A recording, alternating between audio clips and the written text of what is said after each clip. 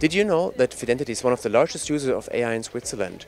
We're running over a thousand instances that all have AI as the central component. We started doing so a long time ago, much before the hype around generative AI. We're using machine learning and classifiers to make mission critical decisions for large companies and government entities. To stay competitive, we've partnered with Uphill Conference to exchange knowledge with global leaders. And if you're interested in all of this and it sounds interesting to you, please reach out to us. We're growing fast and we're always looking for talent.